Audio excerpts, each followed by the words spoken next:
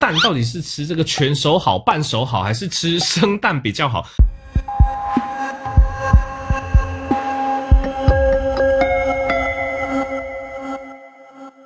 好，那我是长哥，今天跟大家讨论一个已经被讨论到烂，但是在我的减重门诊里面还是常常会被问到的问题，就是一天到底能够吃几个蛋？当然，看我的频道很多观众应该听过我讲过，哎，其实目前对于一天吃几颗蛋，这个在相关的饮食规范里面早就已经把它拿掉了哈，它没有限制说哦一天可能只能吃一颗蛋、两颗蛋，但为什么还是很多人会有一天只能吃一颗蛋的想法呢？那主要是二零一五年之前的美国饮食指南哦，那个时候全世界的共识哦，就比较老。的观念现在已经被推翻掉了。那时候建议说，哎，这个每天的胆固醇摄取不能超过三百毫克。那因为一颗蛋哦，它的胆固醇差不多就是两百五十毫克了，所以意思就是说，你吃超过一颗蛋，你一天摄取的胆固醇量就会超标哈。这是二零一五年哦，这个学界的共识。但是后来这个医学研究越来越深入，营养学的研究越来越深入嘛，所以发现说，哎，其实我们人体的胆固醇，因为我们常知道我们要抽血检查胆固醇，当你这个比较坏的胆固醇叫做 LDL 低密度胆固醇，哎，如果常常高，常常超过一百三，哇，这个五年后、十年后，哇，这个心脏血管，哇，这个脑部血管常常都会堵塞，就会增加这个心肌梗塞或中风的风险呐。哦，所以一开始以为是不能吃太多胆固醇，但是后来发现，其实人体里面的这个胆固醇啊，血液里面的胆固醇只有差不多百分之二十是食物来源，百分之八十是你人体自己调控制造的。意思就是说，今天当你胆固醇吃少一点点，哎，你人体有可能就会制造多一点点胆固醇进到血液里面。那反过来讲，你今天胆固醇吃比较多哦，你人体也会自然调节去降低胆固醇的制造，所以就发现哎，饮食中这个胆固醇对于我们血液里面胆固醇的影响似乎没有想象中来的那么大。哦，所以在经过非常大规模的这个研究分析之后，这个美国的饮食指南在二零一五年之后就完全的把胆固醇的摄取上限这个拿掉了。哦，它就没有再限制说一天只能吃三百毫克的胆固醇，因此也就把这个一天只能吃一颗蛋的这个规则解禁了。哦，所以这第第一个大家要。了解的点，以目前现行的饮食指南，其实没有建议大家说一天不能吃超过几个蛋，我，没有相关联的一个限制啦。那接下来我们讲一下，那吃蛋到底会不会增加胆固醇？其实这要分两个面向去讨论，一个是我吃蛋。我这个圆形蛋蛋里面的营养素里面的胆固醇本身到底会不会增加胆固醇？第二个要考量的点，很多人都会忽略，就是你烹饪的方式，烹饪的方式反而是引起胆固醇上升的罪魁祸首。我们先一个一个拆解，我们先讲第一部分，蛋里面本身的营养素到底会不会造成胆固醇上升呢？老实说，目前的科学研究没有明确的证据指出吃比较多蛋，你的胆固醇会比较高。我们现在单纯只是蛋里面的营养素，为什么呢？你说，哎，超哥虽然说吃饮食里面的胆胆固醇只占了贡献的百分之二十而已，但是你吃比较多蛋，还是会摄取比较高的胆固醇啊，没有错。但是呢，重点是蛋黄里面有一个非常重要的营养素，叫做卵磷脂。哦，卵磷脂大家可以去查一下相关的一些报道、相关的一些文件。其实研究发现啊，卵磷脂蛋黄里面这个成分呢，它竟然是可以调节血中的胆固醇，它是可以减少哦你这个饮食里面胆固醇的吸收的。虽然说蛋里面，特别是蛋黄有丰富的胆固醇，但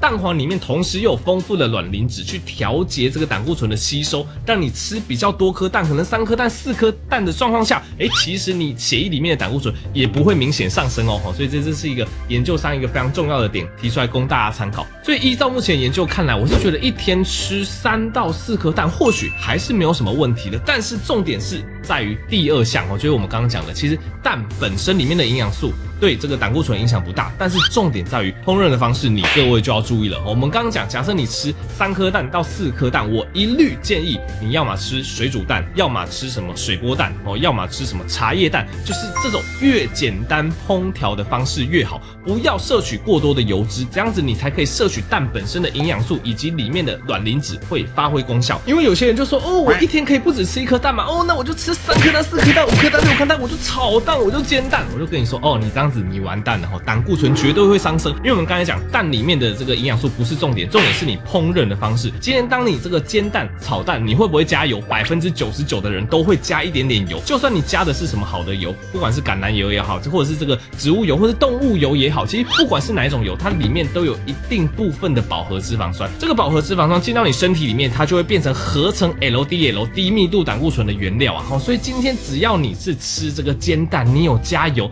你吃了三颗蛋、四颗蛋，它一定会让你一整天这个饱和脂肪酸摄取的这个量上升，就会增加你血中的低密度胆固醇。那那种很香的西式炒蛋更不用讲，西式炒蛋除了会加一般的油，还会去加奶油，加其他油去增加它的香气。所以有些人他说，哦，我一天吃三四颗蛋应该没差吧？他讲的三四个蛋但是这个三四份的这个炒蛋，哇，加了一大堆这个牛油奶油，那你的饱和脂肪酸摄取，你的血液里面的胆固醇一定会上升。所以这才是今天这一集要跟大家强调的点。其实假设你是吃水煮蛋，假设你是吃这个呃茶叶蛋这种呃无油的烹调方式，你一天吃三颗到四颗，以目前的现行的研究看起来对你血中胆固醇没有太大影响。但是假设你吃的是荷包蛋，你吃的是炒蛋，你吃的是有加油的蛋，那三到四颗的量的状况下，绝对会对你血中的胆固醇产生影响。所以今天当两个人在讨论，一个人说哦，我每天吃三到四颗的蛋，哦，我的胆固醇都没有高啊，我觉得蛋没有什么问题啊。然后另外一个人说哦，我每天吃三到四颗的蛋，哦，那个科学都乱讲，我胆固醇大幅升高。你要仔细去分辨，他们两个人煮蛋的方式可能完全不一样哦，一个是吃水煮蛋，一个是吃什么炒蛋，这个什么加奶油哦，这个加油去煎，那当然后果会是完全不一样的啦。哈，那再也会有人问说，哎，那唱歌那蛋到底是吃这个全熟好、半熟好，还是吃生蛋比较好？而基本上生蛋是在营养学上是完全不建议的哦。当然有时候你吃寿喜只要呃蘸一下生蛋，只要量不多是可以接受。但是生蛋有两个点要注意，第一个当然就是卫生问题嘛，因为大家都知道说这个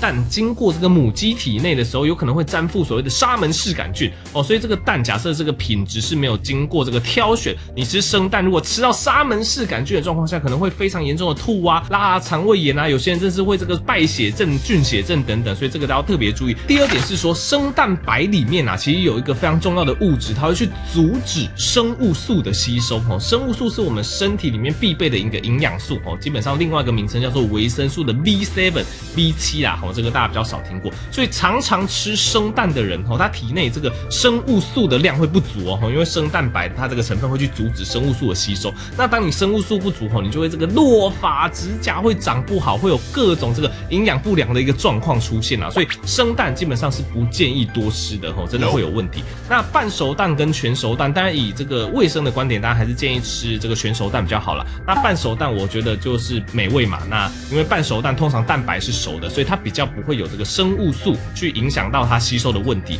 那蛋黄的部分，这个一样是卫生问题啊。如果是挑选到比较好的哈一些，就是通过验证哈可以生食的蛋，那吃半熟蛋应该就比较没有问题。好，那这里就到这边呢。那简单跟大家统整一下这一次的概念。总之哦，的确一天不用只限制自己吃一颗蛋。呃，如果你是吃这种呃无油烹调的蛋哈，我觉得一天三到四颗都没有什么问题。但是哈，假设你吃的蛋哈是煎蛋是炒蛋哈，你就要特别去注意使用的油脂跟使用的油量哈，因为这个就有可能会造成你胆固醇上升了。然后再来第二点就是考量到卫生跟健康，我是建议大家还是吃这个全熟蛋为主，然后偶尔如果是一些呃真的是比较好的好品质的蛋，那就吃半熟的，我觉得应该没有问题。那生蛋就不建议大家多吃哈。那以上结论供大家参考。二十秒广告时间，碰碰鲨鱼宝宝的团购来啦！即日起只要购买儿童小鱼球以及鲨鱼宝宝儿童益生菌各三盒，就能享限时八二折优惠，还加送碰碰鲨鱼宝宝的儿童水壶，超可爱的啦！输我的优惠码 bluepig 还有九五折优惠，赶快去官网看看吧。好，这集到这边啦，喜欢这一类就是非常日常向的这个医学科普，欢迎订阅这个频道，可以追踪苍兰哥的医学通识哦。这个 podcast 频道有更多